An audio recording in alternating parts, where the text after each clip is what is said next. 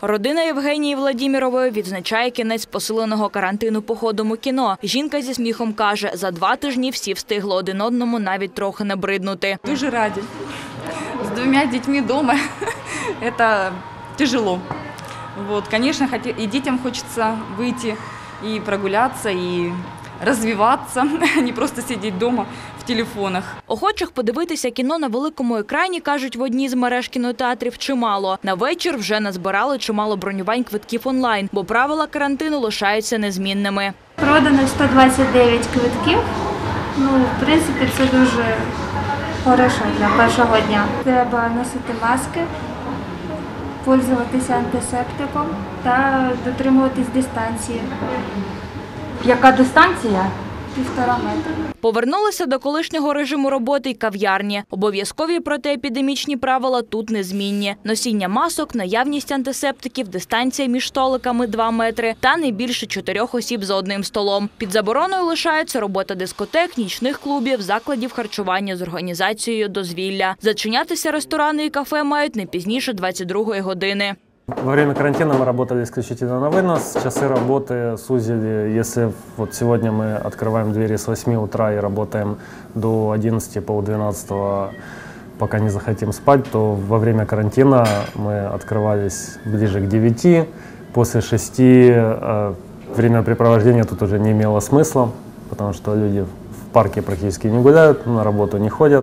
А ось де поки порожньо в перший день після локдауну, так це в більшості магазинів у торговельно-розважальних центрах. Там кажуть, великих черг з покупців поки не спостерігається. Після весняного карантину у нас також спочатку було дуже мало людей. Е, Пішли дето люди через дві неділі, і я гадаю, що цей раз буде точно так. Ми просимо обов'язково всіх надівати маску.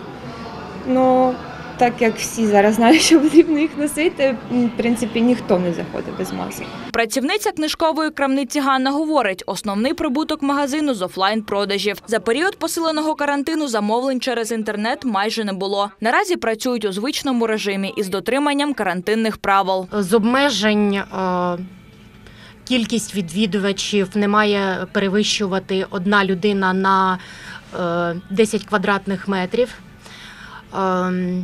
Е, І, звичайно, маски, маємо санітайзер, е, рукавички. І відстань між відвідувачами повинна бути дотримана. Під забороною локдаун були також спортзали та фітнес-клуби. Віднині вони мають працювати з обмеженою кількістю відвідувачів в залі. Одна людина на 20 квадратних метрів. С сегодняшнего дня возобновилась работа всех клубов э, в обычном режиме, как было до локдауна. А, То есть есть ограничения по количеству посещения людей групповых тренировок, так как у нас групповой зал 100 квадратных метров, у нас может быть э, до 10 человек. Групповая тренировка по предварительной записи. Обрабатываются, так же как и раньше, все тренажеры каждые два часа специальными средствами. Завершенню локдауну радіють відвідувачі фітнес-центрів. Кажуть, тренуватися вдома важко. В зале ты приходишь, здесь своя атмосфера, Здесь хочется заниматься. Ну а дома как бы нет ні тренажеров нужных. Дуже класно, що сьогодні вже можна було повернутися.